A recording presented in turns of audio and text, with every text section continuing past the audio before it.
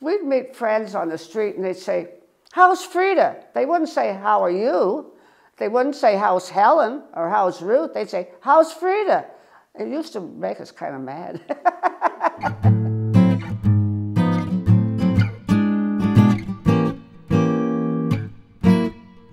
My name is Lois Broad. My name was Lois Johnson before I was married. I'm going to tell you the story of one of my sisters who was really very unusual. You would love her if you met her. Everybody did. But she was very different. I was the fifth of five children.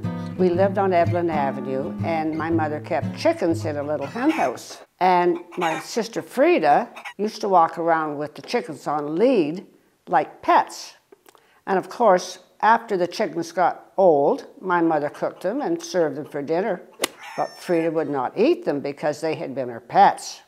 When my brother said to her, What about the meat you eat? That's animals killed. She quit eating meat that day. Freda was not a great student at Humberside because she was an artist. She was an artist from when she was born. All her textbooks, the borders of all her textbooks at high school were filled with drawings.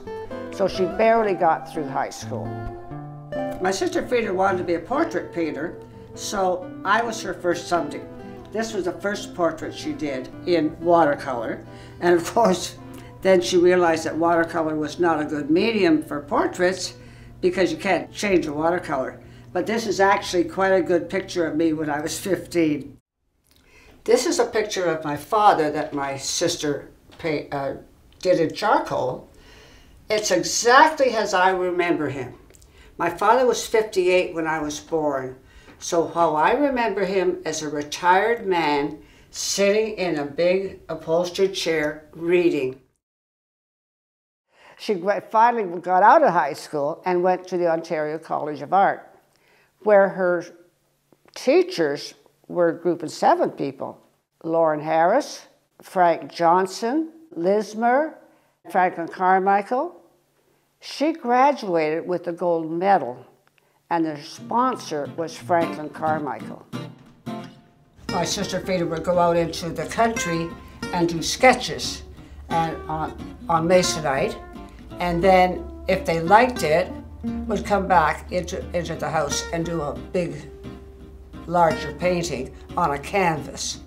Her first job out of college was with Eaton's. Eaton's and Simpson's were the two big department stores, and they each had about two full page ads in the Toronto papers. So Freda was one of the artists working on that and became their head artist because she was so good. At that time, there was a strike for artists all over the city, and she met a fellow. They met on the picket line and started a romance. He had been an illustrator and an author of children's books. You know the little golden books? That was Joe's. Did a lot of those. He was very successful. She was married in 1938. Uh, I was 11, and my, my mother went down to Eaton's to bring a, a dress home for me to be the, the little flower girl, and it was a small, cotton dress. And there was no way I was going to wear that for when I was 11. So I made, I made her take it back, and I ended up with a very nice pink taffeta long dress. And then Joe said to Freda, I would like to go to the States for a year and try my luck. If I make it, you can come down and we'll work down there. If I don't make it, I'll come back after a year. She was left to raise the two children. He did not support her in any way. So they were living in a rented house on Glen Lake near Dundas. The first floor she rented out to her friend, and then Freda uh, made the second floor. There was a kitchen and a living room and her studio. And then the third floor was two bedrooms where the two kids and she slept. To make her living, she had to work there all day, every day, on the second floor, and look after the kids. Now, uh, Joe went down to the States a year before Freda, and when Freda went down, they had, he had saved enough money to buy a house at 18 Edgewood Avenue in Springdale, Connecticut, which was a suburb of Stamford, Connecticut. And she had a studio in their dining room. Ed, uh, Joe had built a studio for himself on his property. So he went in once a week to New York to his agent. And one, about 14 or 15 years after they moved down there, uh, he went in one weekend, uh, one week to his agent, and she told him she was going to retire. And he was so afraid of poverty because he'd been raised poor in Sudbury uh, that it was such a shock that he had a heart attack and died two days later at the age of 52 and left Freda with three children to raise. Joe had a friend named Ed DeLevy, and Ed DeLevy was also an artist, and he made his living by not selling his paintings, but by going to friends' house and fixing their house up, doing their laundry, doing their cooking, doing their carpentry for about six weeks at a time.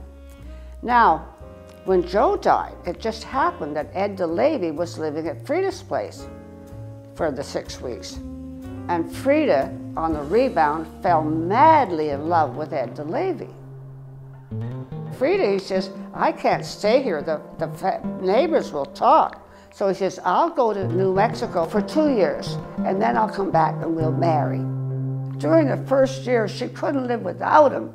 Oh, she couldn't live without him. So she wrote him, Ed, Ed, come back, come back. so Ed comes back, and they married. In the meantime, Freda attended church. She was quite religious, really. And um, the church announced that there was a young man in South America, a kid, that needed his teeth fixed. So Freda paid for this guy to come up and live with her. Now he was 18, the same age as her son at that time. And, she fell in love with him. He lived with her from the time he was 18 till he was 40.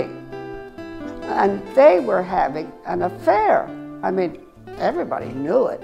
Anyway, Ed got fed up and he left. That was the end of Ed. One day she was at a bus stop and there was another young man standing there. And of course, Freda starts to talk to him. And it turns out that this young man told her that he had a girlfriend who was on welfare who had two children and they didn't have any place to live. So Freda says, okay, you can live in my basement. But over the years, they kept kind of creeping out of their own basement into her house. And one by one, they took over the rooms until eventually Freda was in the bedroom and the kitchen. That's all she had of her house. And then, not only did that happen, but she wanted to give him the house when she died. and her family said, no, no, no. But they gave it the house cheap to him. He is still there, and they now run a daycare center in Freda's house. Can you imagine that? She was so naive that she thought that if she kept her prices low, she would have work. So someone would say, Oh, I love your portraits. I'd love you to do it of my children. And I don't have any money, but I have a really good used TV. When I was down there with my 15 year old son, there were three dead TVs in the living room. So finally, when she was in about her 70s, she decided she was working too hard because she was working seven days a week to make ends meet because she wasn't charging enough. So she put her prices up. Guess what? She got three times the amount of commissions. Freda was a little bit different in that she would give you anything and she would give anybody anything, but she neglected her own family. And of course, everybody loved Freda because she was so animated and interesting and good looking. But interestingly enough, when she was about 87, she quit painting. Cold turkey. For whatever reason, that's the way it was. And then she died at 93, still slim and beautiful, but very unusual.